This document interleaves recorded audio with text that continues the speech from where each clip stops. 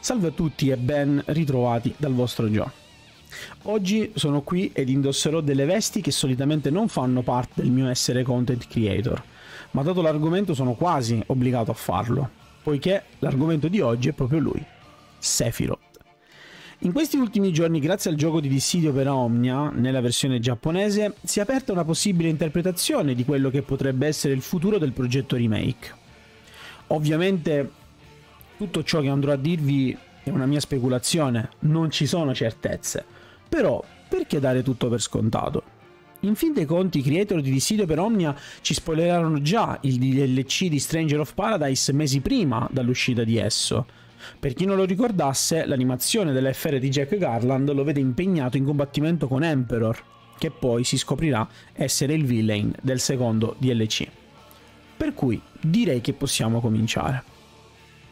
Nell'ultimo capitolo della storia di Dissidio per Omnia abbiamo ricevuto come personaggio giocabile Angel, che si presenta agli altri membri della squadra dei buoni come uno dei migliori amici di Sephiroth.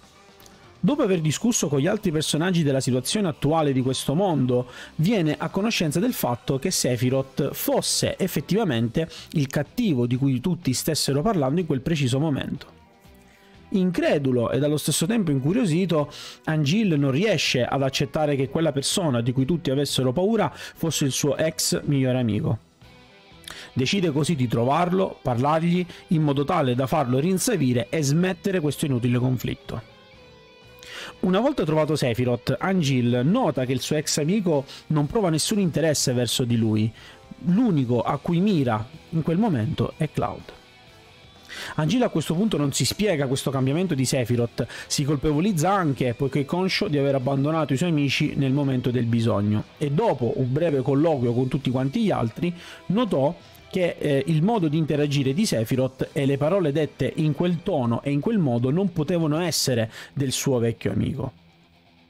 Così, ancora una volta, a colloquio con gli altri, chiede la possibilità di poter riprovare a parlare con Sephiroth e cercare di capire come il suo vecchio amico si sia potuto ridurre così. Nel frattempo, Zack con Rufus Shira e gli altri membri dei Turks avevano scoperto ciò a cui stavano lavorando dal capitolo precedente, ovvero che quello non era il vero Sephiroth ma Genova, sotto forma di Sephiroth. La famosissima calamità provenuta dal cielo è l'oggetto di ricerca del professor Hojo e parte integrante del progetto Soldier. Tutto così iniziava magicamente a prendere senso nel cuore di Angil, che rincuorato capì che effettivamente quel Sephiroth era in realtà Genova e che il vero Sephiroth si trovava dentro di essa e che forse stava cercando aiuto. Ma allora perché in quel momento Genova era così ossessionata da Cloud? Una volta scoperta la verità, il gruppo affronta finalmente Genova che confessa così a loro tutta la verità. A quel punto in me si apre una nuova via, un nuovo pensiero ed una nuova teoria che potrebbe collidere col progetto remake. E se davvero Sephiroth stesse chiedendo aiuto per essere salvato? In fin dei conti, grazie ad un altro gioco mobile, ovvero Final Fantasy VII Ever Crisis, stiamo imparando a conoscere il passato di Sephiroth, stiamo constatando il fatto che lui non è mai stato cattivo da sempre. Anzi, inizialmente sembra essere quasi goffo in alcuni momenti. Figuratevi che non riesce neanche a relazionarsi né a comunicare in modo amichevole coi suoi colleghi di First Soldier. Sono cose che impara successivamente e che probabilmente sacrificherà nel corso dell'opera. Ovviamente qualcuno potrebbe pensare, ehi, ma vedi che Sephiroth è morto, come può chiedere aiuto?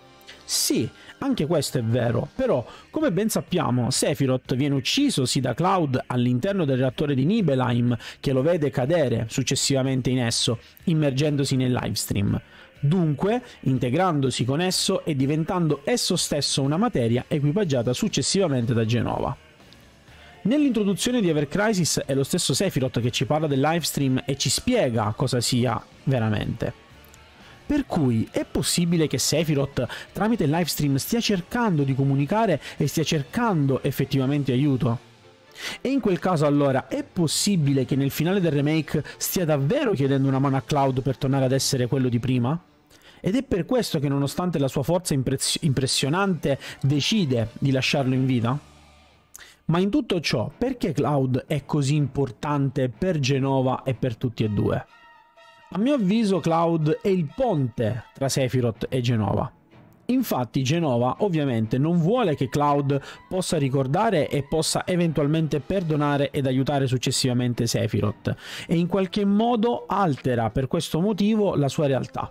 Gli provoca delle visioni contrastanti in modo tale da coltivare questo odio che nutre verso Sephiroth che al contrario potrebbe essersi pentito dei fatti di Nibelheim e potrebbe finalmente ottenere redenzione sconfiggendo Genova, che in fin dei conti rappresenta il vero cattivo della situazione da sempre.